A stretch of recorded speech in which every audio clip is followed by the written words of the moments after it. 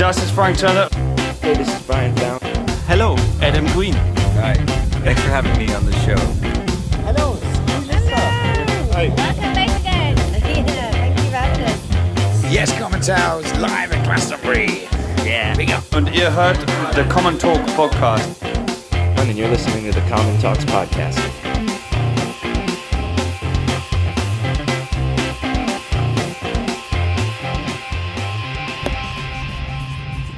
Hallihallo, we're on the road again. Im Stau again. Ja, auf dem Weg zum Haifiech.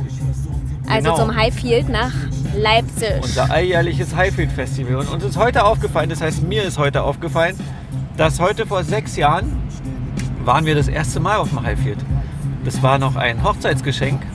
Also was Stimmt. wir zur Hochzeit geschenkt gekriegt haben. Danke Nora und Jörg nochmal.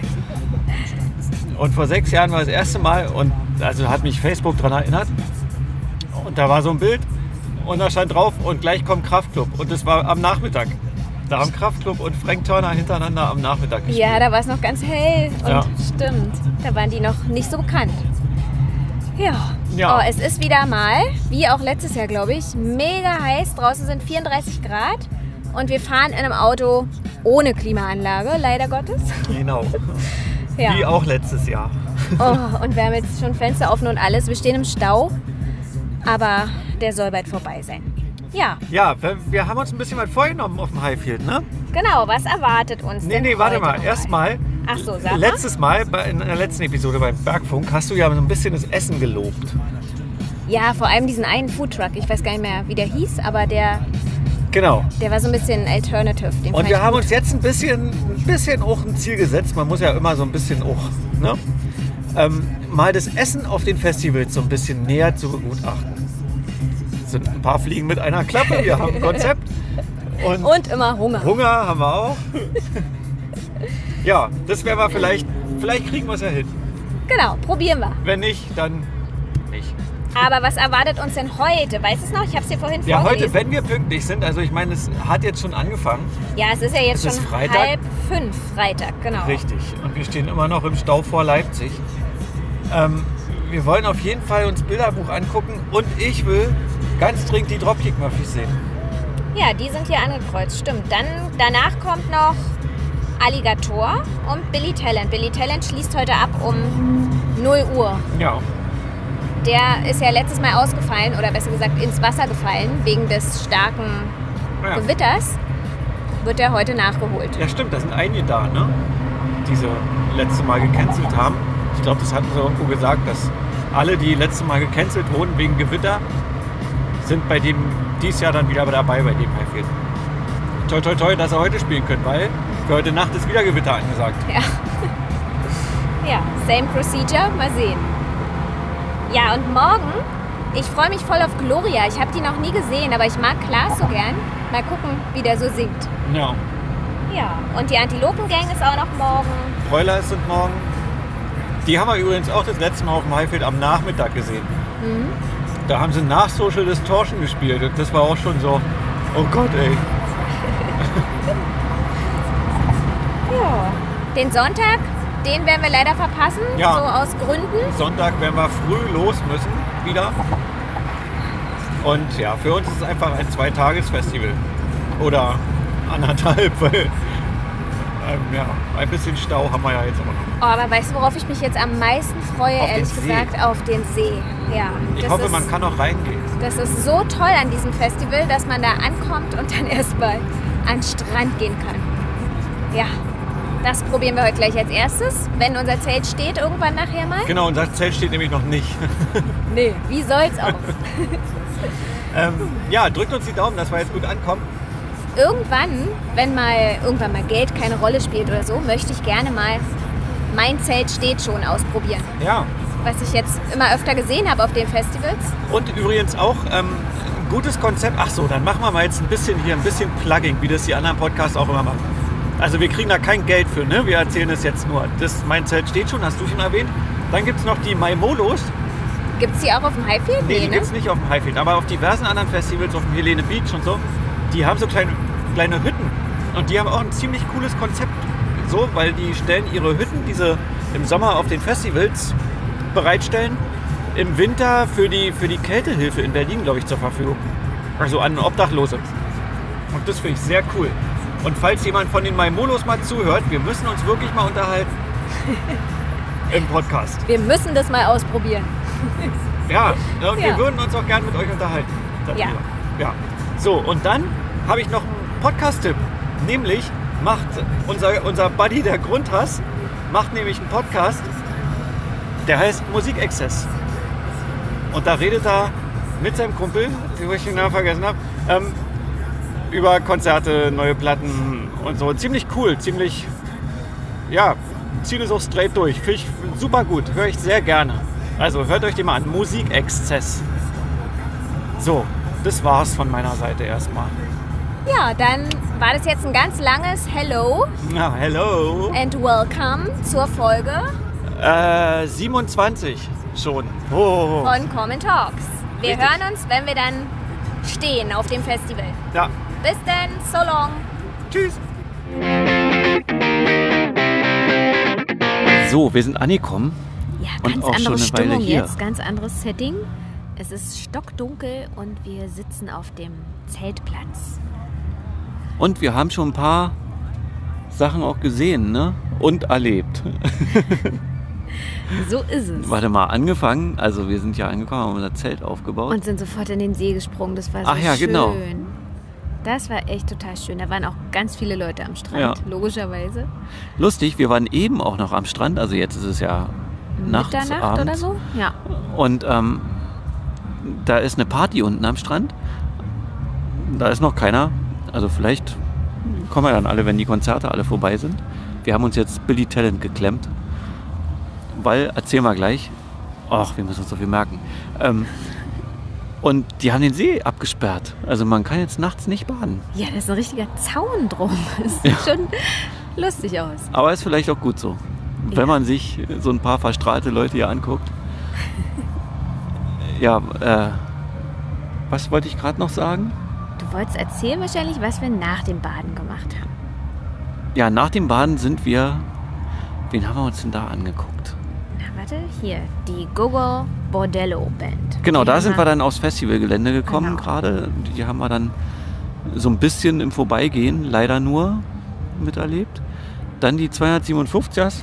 Die waren echt lustig. Ja, und das hat so gestaubt. Das war krass, ja. Die haben irgendeinen so Song, wo man immer so hin und her sich einhakt Hüpft. und dann hin und her hüpft. Und die ganze Menge ist gehüpft. Ihr könnt ja mal in unseren Instagram-Account gucken. war wir haben so ein kleines Video. und staubig. Ja. Ja, und dann war es aber auch bald vorbei mit dem Staub, ne? Nee, ein bisschen ging's noch.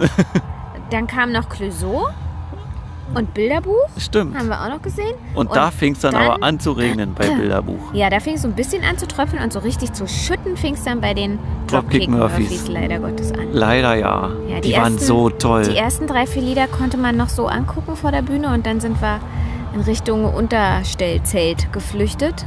Ja, Also schon im Festivalgelände, aber leider nicht mit Blick auf die Bühne. ja. Aber ich bin ab und zu mal rausgegangen tanzen. Und hatte dann nasses, war nass halt Ja. einfach. Ja. Ja, Was, was war denn cool bei den Dropkick Murphys? Was hast du für Songs gehört, wo du rausgerannt bist? ich bin bei, bei Rose Tattoo auf jeden Fall im strömenden Regen rausgerannt. also ich äh, hatte auch das Gefühl, so vor der Bühne sind auch alle gut abgegangen. Und dann hinter diesem zweiten, ersten Barrier, heißen die so? Hinter dieser ersten Hinter dieser Absperrung? Ja. da war dann so mehr, mehr rumstehen und warten, dass es aufhört zu regnen und hat so doll geblitzt. Ja, das sah aber krass aus. Und dann waren schon die Unwetterwarnungen auf den, auf den Monitoren, also auf diesen Leinwänden über der Bühne, dass man sich schon darauf vorbereiten soll, dass man eventuell in die Autos geschickt wird. Und wir haben schon gedacht, oh Gott, wie letztes Jahr. Ja, man hat es in den Augen der Leute ablesen können. Bitte nicht wie letztes Ja. Jahr. Nicht zurück in die Autos zum Parkplatz, der eine Dreiviertelstunde zu Fuß Ja. weit weg ist. ja, aber es ging alles gut. Jetzt hat es aufgehört zu regnen. Ja, genau. Und Und du warst, du hattest doch noch Hunger gehabt. Wo hat es dich denn dahin verschlagen? Ach ja, wir wollten ja ein bisschen, ein bisschen Foodshow machen. Also ich hatte heute, ach jetzt habe ich den Namen vergessen, aber ist wahrscheinlich auch egal. Gnocchis, irgendwas. Gnocchis mit Salbeibutter. Ja, ja, aber ja, Genau. Oder? Den Namen hast du gesucht? Nee, den, Na den Namen von dem Stand. Der, Der hieß wahrscheinlich also, Gnocchi Bude. Nee, die hatten, so. die hatten. Ach. Ich sag's morgen, wenn ich es nicht vergesse.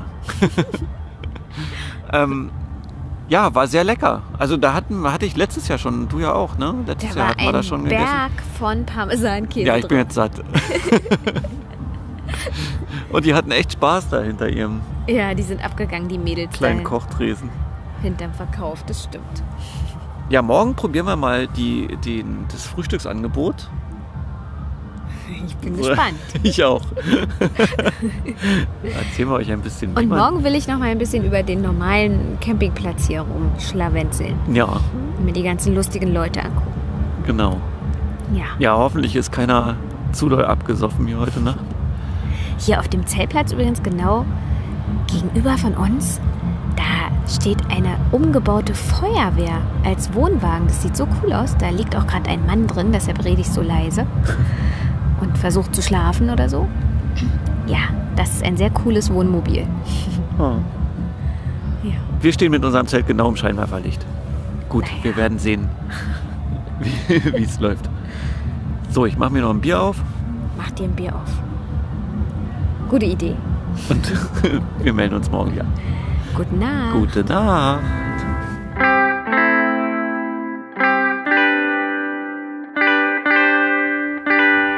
Guten Morgen. Guten Morgen. Es ist Samstagmorgen. Richtig Inzwischen ist es früh. Inzwischen ist aber, glaube ich, schon. Ist noch eine 9 auf der Uhr oder ist schon 10? Weiß ich gar nicht. Aber wir sind schon wach seit. Seit eine ich- sieben vorne ja, stand seit an der halb, Uhr. halb acht oder so. Weil der Feuerwehrmann hat Party gemacht. Ja, wir haben euch doch gestern erzählt von diesem coolen, umgebauten ähm, Feuerwehrauto mit diesen Feuerwehrmännern da drin. Das ist verschärft. Die haben ein Megafon und heute Morgen fiel ihm dann ein um sieben, jetzt ist Zeltplatz wecken. Ja. Mit seiner Musik. Erst hat er so Mark Forster und Co. angehabt und hat auch ordentlich laut mitgesungen, dass er lauter war als besagter. Und Ja. dann, als alle wach waren, ist er hier eingeschlafen. Aber jetzt nicht lange. Ist Jetzt ihm wieder eingefallen, dass wollten er wir eigentlich DJ ist. Und auch wieder hinlegen und dann ist er wieder erwacht. Ja, man hört es auch im Hintergrund ein bisschen. Ja, Es ist sehr lustig. Ich glaube, er hat noch zwei Mitkompanen in seinem Auto. Die stehen jetzt aber davor. Ich glaube, die können dieses Megafon im Auto nicht mehr ab. Der eine hat jetzt, glaube ich, aus Langeweile den Grill angemacht. Ja. Ja, so sieht es hier aus, morgens auf dem. ja, Ach ja, es wir war auch sind. noch schön wolkig gerade. Aber jetzt kommt die Sonne raus und jetzt wird es wieder heiß im Zelt. Ich glaube, wir müssen jetzt dann mal öffnen hier alles. rumlaufen. Ach so, wir wollten einmal gucken, wo Penny ist, ne? Mhm. Penny auschecken. Und wach werden. Genau. Ja. Ja. Wir wollten euch nur die kurze So, Impression hier geben Genau. vom verrückten Zeltplatzleben. Gut. Wir melden uns nachher wieder.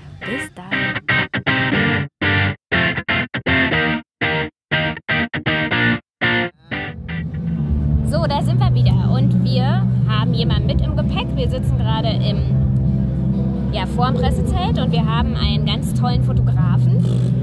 Ja, da lacht er mit dabei, den wir schon auf so vielen Festivals getroffen haben. Das ist der Rudi. Rudi, sag doch mal, wo kommst du eigentlich her? Ich komme aus Springe bei Hannover Aha. und äh, bin halt schon scheißen lange dabei. Ich mache seit, falls ich das erzählen soll überhaupt, seit 1982 Fotos, Musikfotos.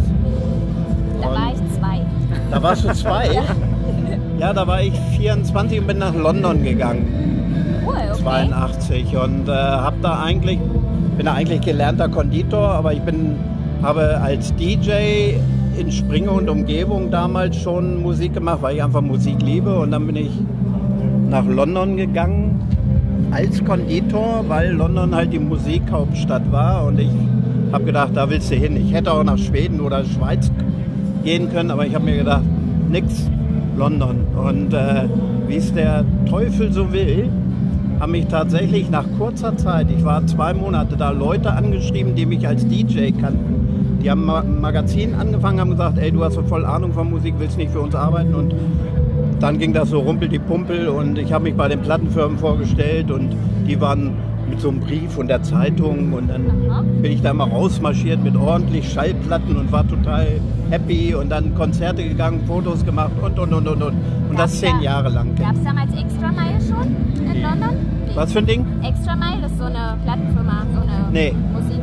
Nee, damals, das war halt 82 bis 92 war ich da und da die 80er Jahre, die waren schon, das war Ja, schon cool War ein bisschen damals. anders, oder, als heute? Ja, also das äh, ein Traum ist wahr geworden für mich einfach, weil ich halt dann auch im Laufe der Jahre tatsächlich zu Partys gegangen bin, wo der Normalsterbliche nicht hinkommt, wo mich, wo mich berühmte Leute umsorgt haben. Sinead O'Connor hat mir Essen geholt am Buffet und dann haben wir zusammen äh, gefuttert und so ein Scheiß. Das, ey, das war nur lustig und das war für mich Traum. Glaube ich. Und wie bist du dann hier zu der Konzertfotografie gekommen? Das habe ich halt durch die Zeitung damals in London, ne? durch die Leute, die die Zeitung angefangen haben, die haben gesagt, du kannst auch Fotos machen und Interviews und so ein Kram. Und damals habe ich halt angefangen mit äh, Konzertfotografie und äh, als ich dann 92 zurückgekommen bin nach Deutschland, habe ich einfach weitergemacht, obwohl es schwieriger war. Als in London ist ja alles geballt und hier musst du überall hinfahren und so. Und gerade Hannover ist so ein bisschen so ein blinder Fleck irgendwo, was die Musikwelt angeht. Es ist halt nicht Hamburg oder Berlin oder München.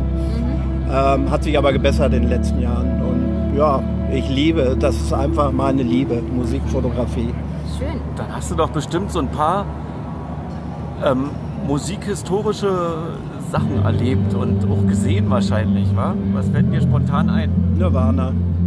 Nirvana? Ich habe Nirvana interviewt und äh, hinterher fotografiert. Und es gibt da, meine Fotos sind anders als die, weil die wollten mit mir auch runtergehen in eine Gasse. Kurt meinte, wollen wir runtergehen in eine Gasse? Und ich sage, ey, diese Gassenfotos habt ihr doch schon genug von. Nee, bleib mal auf dem Sofa sitzen. Und das Witzige war, das war das letzte Interview an dem Tag. Das war wirklich abends um 18 Uhr. Und äh, da ist Kurt Cobain tatsächlich eingepennt während, während der Session. Also es gibt so Fotos, wenn du die siehst, wo sie auf dem Sofa sitzen und Kurt Cobains Kopf so nach hinten und Augen zu und Mund auf. Das sind meine Fotos. Also die Sofa-Fotos sind meine. Ah, und das ja. fand ich halt geil, weil die kein anderer gemacht Ja. hatte. Die Ja. haben alle dieses Gassenfoto mit Pumpgun und weiß ich was. Ich habe gedacht, nee, zack, einfach mal so wie sie sind darstellen und jetzt nicht Ne? Und, und, und. Also viele Sachen. Michael Jackson, Madonna, äh, Prinz, Prinz, habe, Prinz großartig.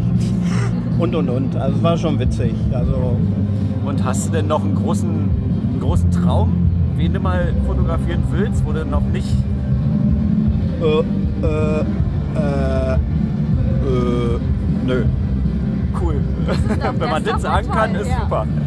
Ja, gut, also wenn ich tatsächlich, also es ist einfach unvorstellbar, aber ich habe noch nie die Rolling Stones fotografiert zum Ja. Beispiel. Das wäre noch mal was. Warst du aber schon mal auf dem Glastonbury Festival? Da hatten wir nämlich das Glück, die zu sehen. Da war ich, da bin ich nie hingefahren. Ich war irgendwie auf dem äh, Monsters of Rock in Donington und äh, Milton Keynes irgendwie und äh, Reading war ich ganz oft. Ja. Also Reading war ich auch, als ich das erste Mal da war, habe ich auch noch Künstler gesehen, die wenig später tot waren. Ich habe Thin Lizzy gesehen mit Phil Lynott und äh, vier Monate später war er tot. Ich habe Stevie Ray Vaughan auf demselben Festival gesehen. Vier Monate später war er tot, weil Flugzeugabsturz oder sowas. Und, und, und. Ich habe einen Ordner da getroffen, der kam mir total bekannt vor, bis ich ihn dann angesprochen habe. Ich sage, ey, du kommst mir vor wie der Sänger von Uriah Heep, der, der Originalsänger. Der Name fällt mir jetzt gar nicht ein. Er sagt, ja, bin ich auch. Ich sage, du hier als Ordner? Ja, ist auch Geld und tralala. Und mein Ja. Solo-Projekt läuft nicht so. Vier Monate später war er tot. Ich weiß nicht, ob es mit mir zusammenhängt. Wir hoffen nicht. Nein, nein, nein. Also äh, ich sag mal, die, von der London-Zeit könnte ich erzählen ohne Ende. Da habe ich wirklich tolle Sachen erlebt und die, das war die beste Zeit meines ganzen Lebens. Vielleicht machen wir das irgendwann mal länger. Hast du denn ähm, mal überlegt oder hast du schon irgendwie ein Buch oder sowas? Bin ich gerade tatsächlich, weil es gibt ja diese Books on Demand Ja. und ich ja. habe gerade von meinem Fotoagenten ein äh, Filmscanner bekommen, professionellen, und habe jetzt meine ganzen alten Schwarz-Weiß-Fotos eingescannt, von 82 bis 84 oder so. Da sind einfach so viele, gerade so die so, heute sogenannten Grufti-Bands, ob das Sisters of Mercy sind oder äh, The Cult oder sonst was, oder damals hießen noch Southern Death Cult. Und äh, da habe ich so viele Fotos, dass ich mir überlegt habe, Mensch, äh, Buch wäre vielleicht gar nicht so doof. Also ich werde irgendwas machen. Ne? Ja, cool. Dann halt uns mal auf dem Laufenden. Ja. Wir halten euch auf dem Laufenden. Und, Ja, Jetzt, ähm, jetzt bist du so ein bisschen in der Scorpio-Familie gelandet, oder? Äh, sagen wir mal so, ich bin seit zum Beispiel dem ersten Hurricane dabei, seit äh, 97 und äh, die, die mögen mich einfach. Warum weiß ich nicht. Keine Weil du Ahnung. gute Fotos machst wahrscheinlich. Äh, äh, kann sein. ich weiß es nicht. und letzte Frage. Ja. Hast du noch einen Tipp so für Leute, die, die auch fotografieren irgendwie und so in die Schiene auch gehen wollen? Gibt Wahrscheinlich ein- ist der erste Tipp, ihr könnt kein Geld damit verdienen, so wirklich. Sehr gut, sehr gut. Musikfotograf, also der Beruf oder äh, die, äh, was, wie man es nennen will, des Musikfotografen kannst du knicken. Das bringt gar nichts mehr. Früher hast du für äh, ein Foto, egal welche Größe, mindestens äh, 50 Euro gekriegt. Heute kriege ich sogar für ein Nirvana-Foto manchmal nur 10 Cent. Ja, Online-Medien Ja. dann Ja. halt. Ne? Also es ist schon voll schräg. Äh, angehende Fotografen gibt es einen ganz wichtigen Tipp, den äh, auch ich gerne teile. Und zwar niemals mittig vor den Sänger stellen. Niemals. Weil du hast keine Nase mehr, du hast keinen Mund mehr. Immer seitlich. Das, da kriegst du viel bessere Fotos und vor allen Dingen immer merken, wenn er ähm, aufhört zu singen und dann wieder zurückkommt zum Singen, macht er schon den Mund ein Stück vorher auf, dann abdrücken. Dann, das sind die besten Fotos. Okay, Zack. Probieren wir nachher gleich mal. Ja. genau. Ja. Ja, dann vielen Dank. Gerne, Danke, gerne. dass du dir Zeit genommen hast. Wir sehen uns ja immer mal im Fotograben nachher. Ganz genau. Bis gleich. Ja, das war Rudi. Aufregendes Leben hat er, glaube ich. Hat, glaube ich, viel zu erzählen und vielleicht sollten wir das wirklich mal, Vertiefen. Ja. Ja, Dann Oh. ging es heute auch schon weiter mit Bands gucken. Ich fand, heute war ein phänomenaler Tag. Ich habe so viele Bands gesehen wie noch nie, glaube ich, an diesem einen Tag. ja, es ist jetzt auch schon wieder abends und wir sind im Zelt. Es ist jetzt 1.18 Uhr, sehe ich gerade auf meinem Handy. Und im Hintergrund spielen die Broilers ihre letzten ein, zwei Songs. Ja. Wir waren bis eben gerade noch da und haben mitgetanzt und es war ganz toll. Das war super. Ich bin ja wieder, wieder mal sehr überrascht. So, ich habe die früher ja, also ja, früher ja nicht so gemocht, aber jetzt, ich mag die richtig doll. Ja, Wie kommt's denn zu Ich der weiß nicht. Kehrtwende? keine Ahnung. Vielleicht sind sie besser geworden, vielleicht, Hat sich dein Musikgeschmack vielleicht auch so. Okay. Ja, und angefangen haben wir heute, bisschen spät war, mit Swiss und die anderen. Na, wir mussten ja auch noch baden und Ja, so stimmt. schön Ja. Sachen machen. Ja. Genau, Swiss und die anderen haben wir. Kurz habe ich die nur gesehen. Die waren ja ganz cool. Ich habe die mal am, beim 1. Mai gesehen, haben die auf der Cortex-Bühne gespielt. In Berlin. In Kreuzberg. Und das war, das, das fand ich da schon ziemlich cool. Deshalb, also sonst hätte ich die gar nicht gekannt, glaube ich. Aber die sind, die sind toll. Hört euch die mal an. Sehr politisch und also ganz cool. Ja. Und dann sind wir zu Gloria rübergegangen, ne? Zugezogen maskulin waren noch vorher. Die waren noch zwischendrin kurz, genau. Das war auch so derber Hip-Hop, Ja, nennen wir es mal. Kreuzberger Hip-Hop. Ja, und dann was ganz anderes. Genau. Gloria. Dann kam Klaas. Gloria hatte ich noch nie gesehen oder ich glaube auch noch nie gehört. Ich wusste nur, dass Klaas damit singt und Klaas mag ich sehr gern. Ja. Ja. Und? Aber naja, ich mag den halt so gern, wie er so im Fernsehen ist und da so Quatsch macht. Und ihr habt mich drauf gefreut, aber ich hatte halt ganz andere Erwartungen natürlich, wie man, ja, Hm. wie ich so halt hatte an Klaas, wie ich ihn so kannte.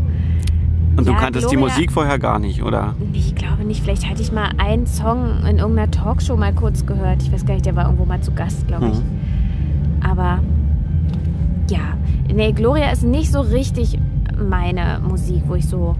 Also Olli Schulz würde jetzt sagen, hat mich irgendwie nicht abgeholt. ja. Aber trotzdem war Klaas toll und den zu sehen war auch schön. Ja, genau. Ja. Dann ähm, im Vorbeigehen haben wir die Antilopengang und Cat Car noch gehört und gesehen. Und Die Donuts kamen doch dann. die Donuts kamen dann. Genau. Und das war ja, das war ja eins der Höhepunkte irgendwie, fand ich. Ja, so das von war diesem so Wochenende. das war so cool. Und ich glaube, die haben das selbst auch so empfunden. Und Ja. das hat sich so angehört, als hatten die auch echt Spaß. Ich glaube das auch, ja. das hat doch der, Der Broilers-Sänger gerade noch gesagt. Sammy? heißt der so? Weiß ich nicht. Der Sänger jedenfalls hat gesagt, die haben zusammen Armbrot gegessen hinten im Backstage. Und ja, die Donuts haben denen dann erzählt, dass es wohl mit eins ihrer geilsten Konzerte ever war. Und ha er hatte wohl dabei Tränen in den Augen. Ja. Ja, das ist doch eine schöne Aber das, Story. das glaube ich, das, das war richtig cool. Ja, Also wahrscheinlich hatten, waren sie auch ein bisschen, die sind ja für Bad Religion eingesprungen. Einer von denen hatte auch ein Bad Religion T-Shirt an. Ja, na und die haben auch Bad Religion gecovert, ne? Ja. Extra für den Tag. Ja, und da hatten sie wahrscheinlich ein bisschen Angst, dass sie, ja, wie sie gesagt haben, das Trostpflaster nur sind. Aber war gar nicht so. Und die wurden super, super toll empfangen und also haben sich alle gefreut. Ja. Das hatte ich vorhin auch schon zu dir gesagt. Das Publikum, ist mir aufgefallen, ist irgendwie anders als die letzten Ja, Jahre. So jedenfalls in front of stage, was man da so mitkriegt. das finde ich auch. Also da so wird irgendwie alles mitgesungen und alles. Ja, ich weiß auch nicht, was sich verändert hat. Na, Aber es ist wirklich, das ist mir auch aufgefallen, dass dass die es. offener für jede Band sind und nicht so wie wir erinnern uns an das Rammstein-Jahr. Ja, Die ersten zwei, drei Reihen Ganz schlimm. blockiert mit den Rammstein-Fans und den ganzen Tag. mit den Gesichtern, ja, da hatte keine Band so richtig eine Chance, die ersten drei Reihen da zu rocken, weil Ja. die einfach nur gewartet und gewartet haben. Und grimmig reingeschaut Ja, haben. und sowas gab es dieses Jahr gar nicht. Nee, das stimmt. Und alle springen immer so rum von einer Bühne zur anderen und singen irgendwas mit, was Dinge. Das hat mich ein bisschen an England erinnert, an die, an, an Glastonbury. Wenn da irgendwo ein Stück Musik irgendwo ganz leise ist, dann fangen die alle an mitzusingen und egal was, ob das jetzt vom Band kommt oder ob das irgendwo einer singt oder und so ist es hier auch irgendwie ein bisschen. Das, das finde ich schön. Das ist toll. Und dann kam auch schon bald mit einer meiner Favoriten, nämlich Par of Stella. Die sind so abgegangen. Ich hatte das Glück, da ganz vorne mit zu sein. Und die Leute haben so getanzt und die gefeiert und das hat so einen Spaß gemacht. Die machen ja so, ich weiß gar nicht, wie man diese Musik Na, so Elektroswing, ne? Ja, Wir hatten die mal beim Summer's. Tale Ja, gesehen. ich glaube, da war ich schon recht verzückt und Ja. jetzt haben sie mich überzeugt. also die finde ich echt geil. Zum nächsten Konzert will ich hin. Okay. Ja. Dann gehen wir da hin. Genau. Und zwischendurch war aber auch noch Dendemann, ne? Ach ja, Dendemann habe ich ganz vergessen, den guten Dende. Ja. Der hat zur untergehenden Sonne gespielt. Das war toll, sah sehr schön aus, das Licht und so. Ja, und ich wusste auch nicht so richtig, was, was so zu erwarten war, weil ich hatte den auf dem Konzert noch nie gesehen, sondern nur immer bei Böhmermann in der Show, so als Mhm. Zwischenmusik. Und da fand ich ihn ziemlich cool. Und heute fand ich ihn auch echt toll. Der hat, der war so anders. Naja, wie kann man, ist schwer zu beschreiben, aber der hat echt diese Massen gerockt. Und da hatte ich ein bisschen Angst vorher, dass der das nicht schafft, so als, als Dende. Aber hat gut Naja, aber geklappt. der war ja auch schon vor, äh, vor dem Neo-Magazin Dendemann. Also ja, der das, war das ja. war mir, ja, ja. ich habe den halt damit kennengelernt Ah. und ja, hab gedacht, so, was wird Hast das dir ein wohl bisschen werden Sorgen bei der, gemacht. bei der großen Bühne, ja. Aber hat Ja. er super gemacht, hat Spaß gemacht und ja, war toll. Ja, und Flogging Molly haben wir noch gesehen. Die fand ich auch toll. Krass, wen wir heute alles gesehen haben. Stimmt, Ja. Flogging Molly. Die haben mich erinnert, warte, an zwei Bands. Ich krieg's noch zusammen. Ein Skinny Lister gemischt mit Den Pokes. dem Pokes, genau. Ja. Ja, das, das hat auch Ja, Spaß super, super sympathisch. Und ich kann mir jetzt auch ein bisschen vorste vorstellen, weil man ja so die Bands ein bisschen, jetzt ein bisschen kennt, ein bisschen, also so nicht, nicht wirklich kennt, aber so begleitet irgendwie so Skinny Lister und, und Flogging Molly. Und dann diese ganze Flogging Molly Cruise, wie das irgendwie abgehen muss. Das ne? muss so schön sein. Das muss so cool sein. Auch die Donuts waren ja auch da, mit die Broilers waren auch da und alle sind so. Das ist bestimmt sehr herzlich, wenn die sich dann hier auf Festivals alle wiedersehen und das ist schön. ja, wir müssen auch mal mitfahren. Ach, das wäre cool. Ja. Ja. ja, und für uns geht's dann morgen leider schon nach Hause. Aber alle anderen hier können noch einen Tag lang feiern. Genau, mit Fanta 4 und äh, Materia sind jetzt, um jetzt hier die Großen zu nennen. Achso, ZSK spielen morgen noch. Ja, da bin ich traurig, dass wir die verpassen. Die hätte ich gern mal live gesehen. Ja, Genau, Maximo Park auch noch. Fünf Sterne Deluxe verpassen wir, Bosse. hm. Matzen auch noch. Editors. Und so weiter. Und so naja, weiter. schon ein paar. Wir gucken, Liste. ja, wir, wir lesen uns das gar nicht so genau durch. Sonst wären wir traurig. Ja. Ja, der Festival Sommer ist für uns erstmal noch nicht vorbei.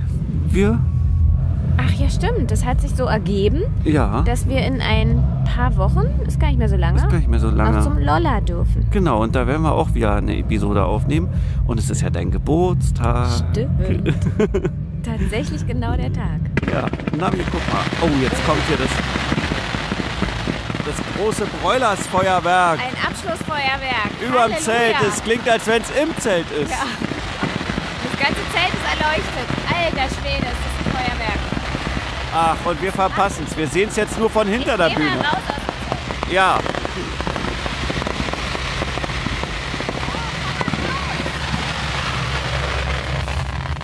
Ach, jetzt wollte ich gerade auch rauskriechen. Das ist Wow, puff, vorbei. das sieht ja, das sah ja geil aus. so, ich komm wieder rein. Biene ist noch ganz verzückt. Von hinter der Bühne das Feuerwerk gesehen. Naja, So, time for sleeping. dann gehen die Broilers jetzt wahrscheinlich auch schlafen. Bestimmt. Ja, wie gesagt, wir hören uns dann äh, vielleicht, wenn es euch gefallen hat, in der nächsten Episode wieder vom Lolla. Das war Episode hm, 20 vom Highfield Festival. 27 oder so? Nein. Ja, Irgend sowas.